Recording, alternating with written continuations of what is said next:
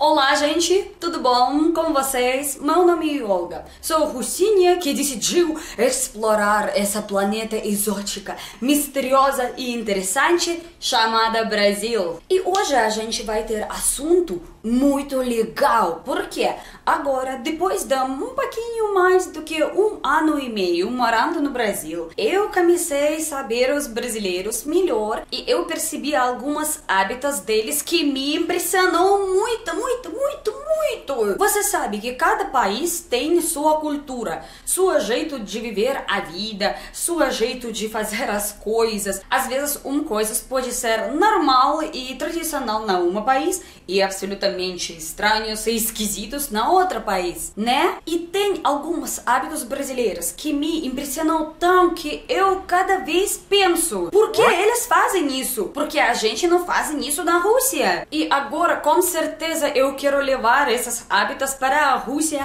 para melhorar a vida dos meus amigos na Rússia, da minha família na Rússia, todos os russos, na verdade. E eu estou falando aqui não sobre comer um açaí delicioso todo dia, né? Viu? Vamos descobrir quais hábitos brasileiros são realmente ótimos. Vamos nessa!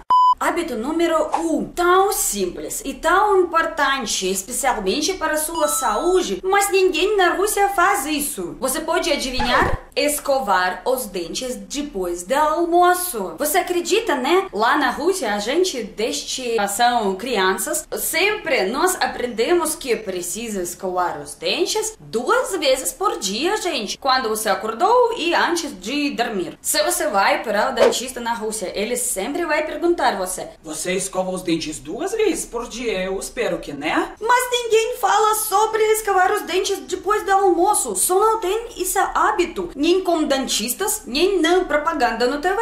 Para mim foi tão choque que pessoas cuidam de dentes aqui no Brasil tão muito. Até alguém leva para o trabalho, para o escritório, escova do dentes para escovar os dentes depois do almoço. E eu até lembro muito bom minha cabeça da vida aqui no Brasil. Eu trabalhei em algum escritório como tradutor com muitos gringos e os brasileiros. E sempre depois do almoço tinha grande grande fila no banheiro só com os brasileiros. A gente, os gringos, não poderia entender nada. O que acontece? Por que eles ficam lá no banheiro? Pode ser comida no restaurante fora estragada, né? Mas depois a gente percebeu que não, eles são todos escovam os dentes. Até dá para saber quem é brasileiro e quem é gringo. Você poderia descobrir das mesas onde eles são trabalhavam.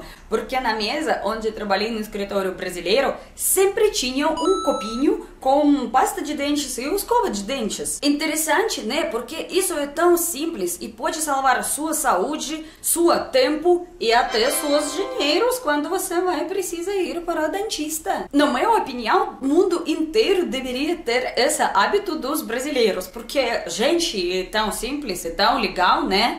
Hábito número 2, também muito importante e também tem conexão com saúde. Aqui no Brasil, as pessoas amam o corpo deles no jeito como eles são. Não importa se você é magro, alto, curto, gordo ou careca, cabeludo. Pessoas são bons e pessoas se amam realmente. Todo mundo tem liberdade para fazer o que eles querem e ser como eles são. Para vocês pode ser simples e você pensa agora o que essa russa está falando. Mas lá na Rússia, muitas pessoas são um pouquinho malucas sobre padrão de beleza. Padrão de beleza que a sociedade quer. Agora, na verdade, isso é quase um psicólogo psicose. Você imagina, as mulheres russas todas são muito magras como modelos, mas na verdade tem muito sofrimento para elas para chegar para esse padrão de beleza. Muitas delas deixam o que eles gostam de fazer para não estrogar o corpo. Por exemplo, se a mulher gosta do esporte e ela gosta dos músculos, elas são muita força,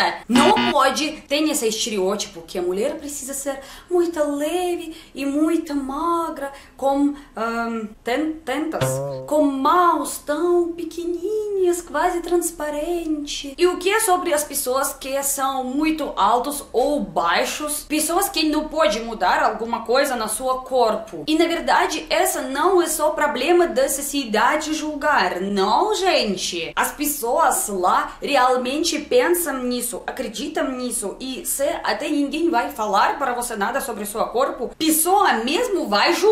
Tem muitas pessoas que se julgam e não vivem como eles querem, eles não vestem o que eles querem, eles não fazem o que eles querem. Eu já recomendei para uma minha amiga lá na Rússia alguma roupa e ela falou para mim: Não, não, eu não posso usar isso, essa saia é muito curta e minhas pernas são muito feias. Quem falou isso para você, mulher? Ou alguém não quer ir para a praia lá porque pensa que eles são muito brancos? Outras pessoas sempre têm medo para flertar, porque eles pensam que eles são não tão lindos e eles não vai falar com essa mulher linda no barzinho ou com esse homem lindo no barzinho. Imagina que é louco, né? E aqui no Brasil pessoas têm mais liberdade, eles se respeitam, eles se amam. Eu não falo fala sobre fazer esporte ou não fazer esporte. Essa coisa que você pode decidir, você pode escolher. Mas sobre as pessoas que não pode mudar alguma coisa no seu corpo, eles são não ficam em casa só para chorar e ficar tipo sozinho toda a vida. Não, mas na Rússia essa pode acontecer. E eu quero muito trazer esse hábito na Rússia para falar para as pessoas que você pode fazer qualquer coisa você quer. Se vocês são loucas sobre brigadeiro brigadeiro. Você pode comer brigadeiro quando você quer. Se eu quero comer uma feijoada no sábado, eu vou comer feijoada no sábado, de qualquer jeito. Se eu quero ir para a praia com minha barriga de cerveja, eu vou para a praia com minha barriga o quê? Sem autocensura, gente. Amar você mesmo e amar seu corpo, fazer o que você gosta, são muito importantes.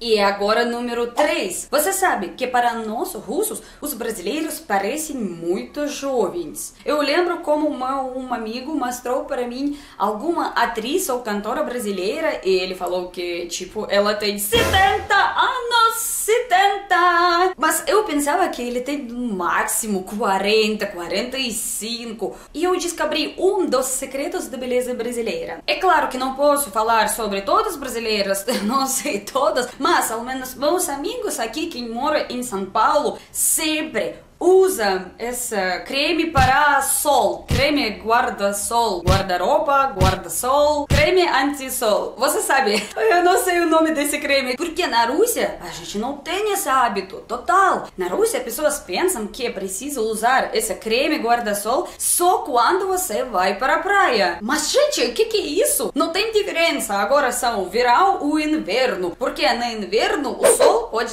ser até mais uh, mal para sua pele, porque tem essa reflexão da neve. O que é sobre esses raízes da ultravioleta, né? Pessoas só não têm esse hábito e até não tem muitas opções do creme guarda-sol quando não é uh, estação das praias na Rússia. Eu não sei porquê. Aqui no Brasil eu aprendi, meus amigos falavam para mim que tipo, sempre usa. Muito agradeço os brasileiros para esse hábito ótimo.